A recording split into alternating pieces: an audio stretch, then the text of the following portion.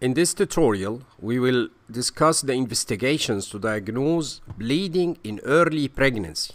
Now, first of all, you have to decide is the patient hemodynamically stable or not.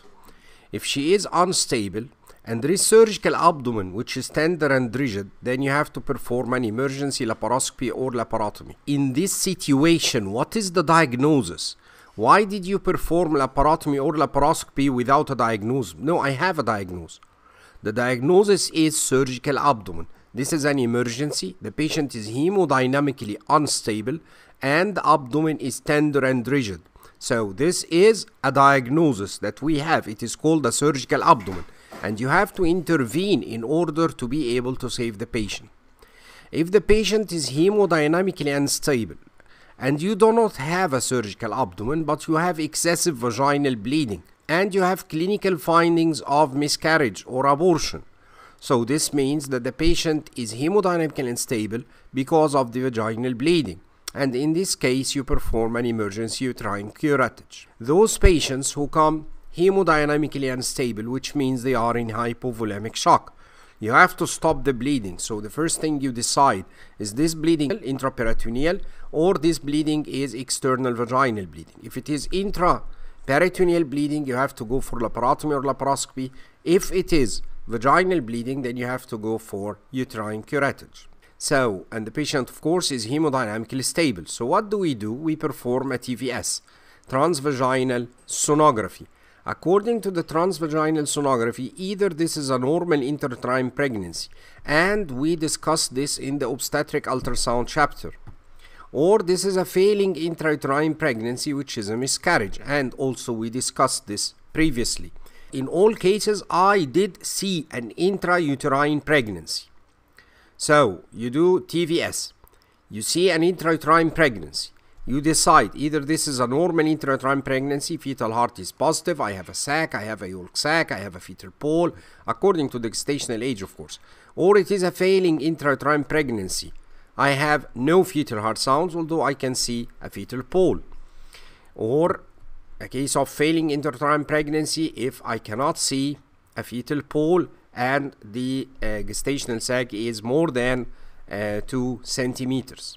Another thing is that you may diagnose ectopic pregnancy. This means that you see fetal heart outside the uterus, a sac with fetal heart outside the, the uterus. So this is a diagnosis of ectopic pregnancy. Or you see a molar gestation. In all these situations, you have done a TVS and you have a finding, so you treat according to the finding. The problem is here. There is no evidence for intrauterine pregnancy with TVS, and the TVS is non-conclusive. I cannot diagnose an ectopic pregnancy either. Neither can I see a molar gestation. So this means I need something else to diagnose where is and the condition of the pregnancy. So what I will do, I'll obtain an initial beta HCG quantitative level. The, the level may be above the discriminatory zone, which means that I should see something. Yani if the level is above 1500 milliunits per milliliter, why am I not seeing pregnancy in or out? This may be because this is a failed intrauterine pregnancy, or it's a complete miscarriage, or it's an ectopic pregnancy and you cannot see it outside the uterus, or it's a multifetal gestation. So we have a high level from two small sacs. After some time, they will appear. The other possibility is that the initial level is below the discriminatory zone. So it is normal that I'm not seeing anything by uh, TVS. And in this condition, I have two possibilities. This is an intrauterine pregnancy or extrauterine pregnancy. I'm not sure. I'm sure she's pregnant, but I'm not sure where is the pregnancy, in or outside the uterus. That's why it's called pregnancy of unknown location. And even if it's intrauterine pregnancy, I'm not sure if it's healthy or unhealthy. I don't know. So how can I reach a diagnosis? It's very simple. You just obtain another beta HCG after 48 hours. If the level rises by 100%, this cannot occur except if the pregnancy is intrauterine. If the level is more than 63%, not 100%, it's not doubling, but it increased by a rate more than 63%. Statistically, in most cases, this is an intrauterine pregnancy. So what I do is that I repeat the TVS afterwards. Maybe after 10 days, after one week, since the patient is hemodynamically stable and I don't have any problems. So I will just repeat the TVS. If the decline is more than 50%, this is a failing pregnancy. Failing pregnancy can be intrauterine or extrauterine. And I have to assure that the pregnancy ended. So I will do a urine pregnancy test after 14 days. If it's negative, then the pregnancy has resolved. If it's still positive, this means that the pregnancy did not resolve completely. So I will repeat the HCG after another 48 hours or I will perform another TVS. Now if the rise is less than 63% or the decline is less than 50%, so this means I'm not I'm not sure I, I cannot assure the patient that it's intrauterine. I cannot conclude that it's a failing pregnancy. So what do I do? Repeat the HCG after another 48 hours or perform a second TVS. If after 48 hours it declines more than 50%, then I will do the urine pregnancy test after 14 days to assure that the pregnancy has resolved. If it's still positive, I will do it again. If it's still positive, I'll do it so long it's declining more than 50%.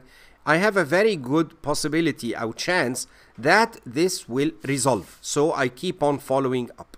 If the TVS shows it's an ectopic, then I treat as ectopic. If again the rise or the decline is non-conclusive, it's not declining to make me feel comfortable that this pregnancy will resolve, and it's not rising to make me feel comfortable that this pregnancy is intrauterine. When the TVS is non-conclusive, I will go to more diagnostic approaches which are more or less invasive. Then you can perform one of three things.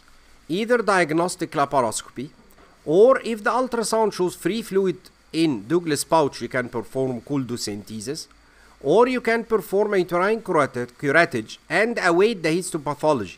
The histopathology may not be available till one or two weeks. During these one or two weeks, you are following the, the HCG and you are keeping the patient under your close care because she may be an ectopic and she may be disturbed at any time.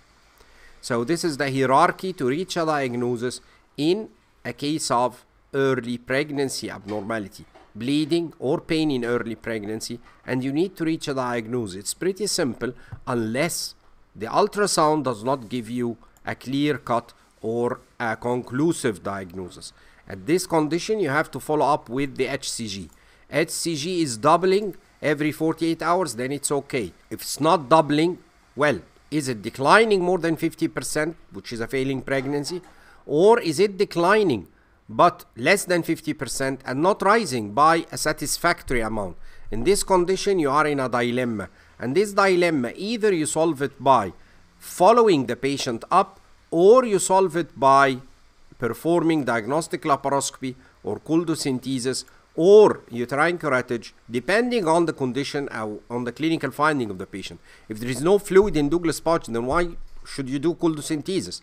If I don't have good evidence that she may be ectopic, I would go for a uterine curettage rather than laparoscopy.